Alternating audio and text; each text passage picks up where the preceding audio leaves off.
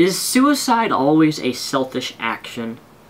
When someone jumps off a bridge or puts a bullet through their head and blows their brains out, who are you to say that their choice to take their life is selfish? Who are you to say that every act of suicide is an act of desperation?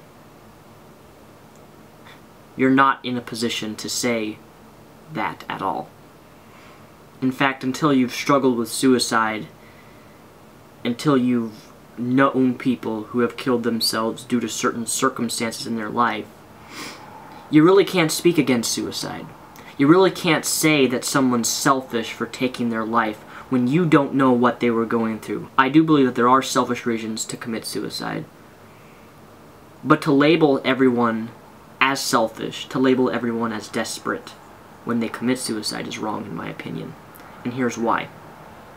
For those of you who haven't heard the story, Tony Scott, a film director, committed suicide. Um, I don't really want to talk talk about the whole story on him, but the the the people reacting to him committing suicide is what I'm responding to here. This director made Top Gun, you know, with um, Tom Cruise. He's he's a he's a well-known director, okay? And he committed suicide by jumping off a bridge.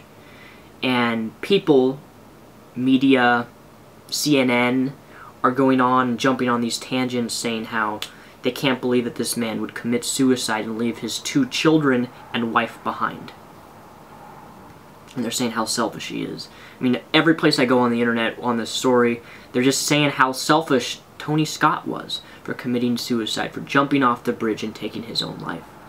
And I have one message to the people who think that Tony Scott is selfish for taking his life.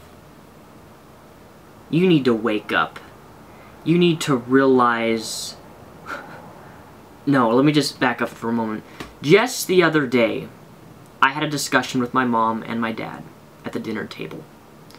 And my mom wanted to know what to do in a situation if my dad, who has had a stroke the past two times in the past two years and nearly died with his last stroke, wanted to know what we should do if my dad either goes into vegetable state or gets permanent brain damage where he's in um, in pain and suffering and he's basically in a medical bed. And my dad said to my mom and me that he would want to commit suicide. He would want to have an assisted suicide. He would want to have the plug pulled on him, whether he was on life support or not. Is that selfish?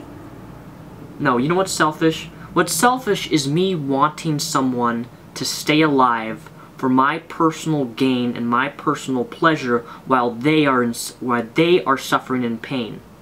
It's like the example I use on my dog. When my dog's legs went out, we couldn't uh, take her to the vet because it was too expensive, right?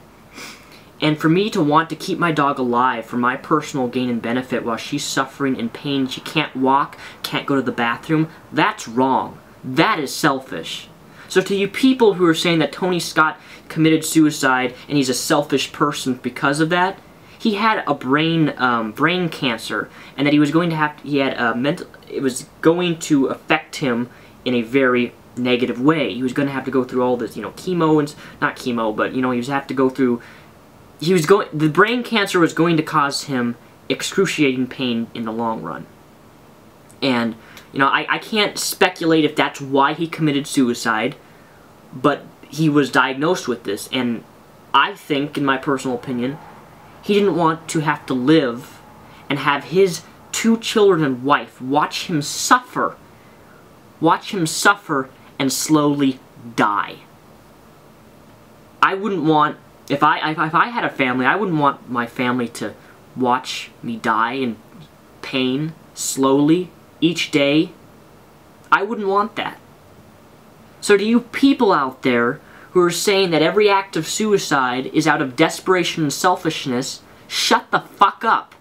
So please, for the family's sake of Tony Scott, stop spreading out rumors saying that he was selfish for committing suicide. Because you and me don't know what was going through his mind. You and me don't really know the real reason why he committed suicide. But to attribute it because he was selfish is not only disrespectful to his family, but it shows to me that many people don't really understand suicide. And they just throw out a general generalization on people who commit suicide by attributing them as weak or or useless or pathetic or weak-minded or weak-willed or most of all the common one is how selfish they are because he left his two children behind. I don't believe in taking your life for temporary solutions. But if you're dying with an, an illness that's going to cause you pain in the long run, you have your your loved ones have to watch you suffer. I'm in full support of someone taking their own life, whether it's jumping off a bridge, blowing their brains out, or taking pills to overdose and have a peaceful death. So please, I just want you to take into mind and think about this a little more before you ignorantly spew out the fact that everybody who commits suicide is selfish and does it for an act of desperation. Just think about it, please.